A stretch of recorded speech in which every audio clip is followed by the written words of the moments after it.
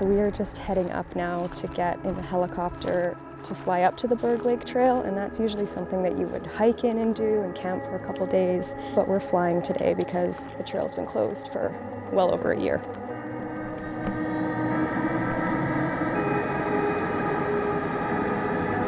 It will likely be years before people can see the trail that makes Mount Robson a world class hiking destination.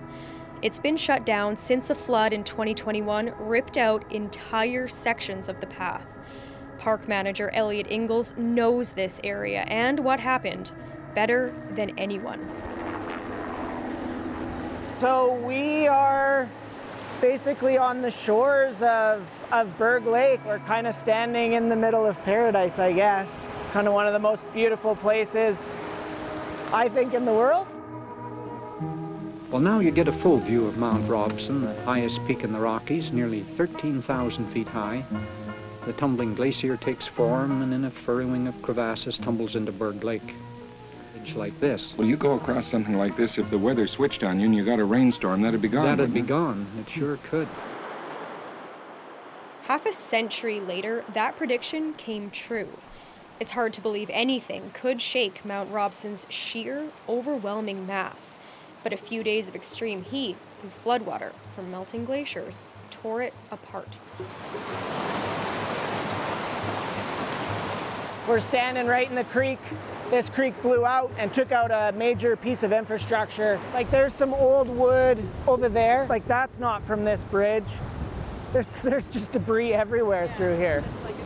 When we were up here for those few days, it was about 37 degrees at this elevation, which was just incredibly, incredibly hot for this area. And we were watching the glaciers. It looked like they were sweating. They were, you could see water, visibly seeing water like pooling off of the glacier.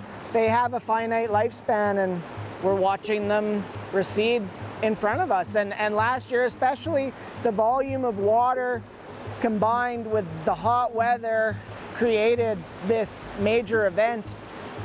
And yeah, like I mean, this area was underwater. This bridge was underwater. It was like nothing I've ever seen in, in my lifetime working in parks.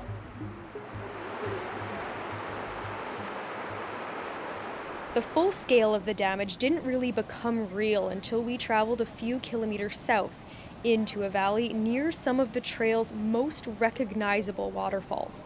It's the place Ingalls remembers some of the worst 48 hours of his career. How vivid are your memories of those days?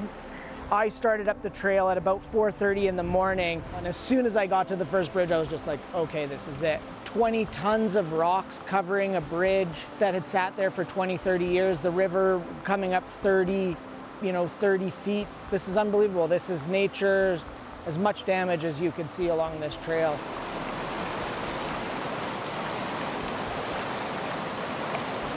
This site, Whitehorn, is where we mobilized um, the helicopter and search and rescue, loading about 30 hikers into the helicopter and flying them down.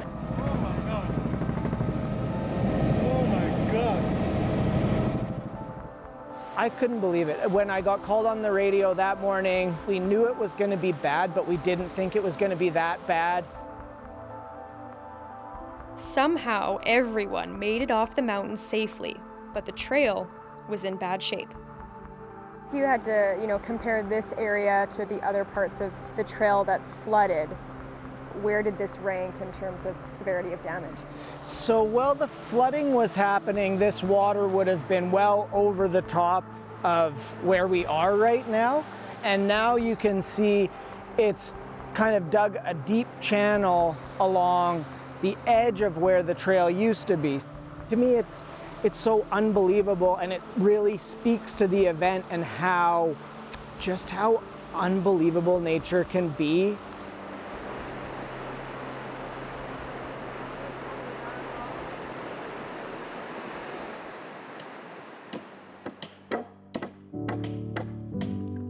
This year, crews started repairs with new bridges around Kinney Lake, the lower third of the trail.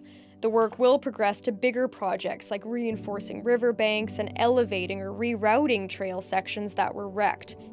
The work is complicated and time consuming to say the least, but it's critical. Comfortable, a nice height, excellent for having tons of stuff on. I could see families playing cards on there. That is a nice spot. BC Parks knows how vital this is to the community. It's the second oldest park in British Columbia.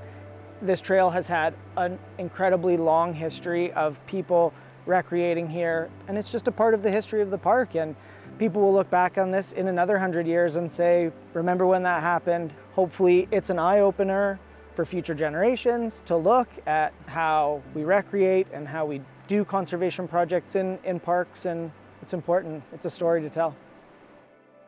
Rhianna Schmunk, CBC News, Mount Robson.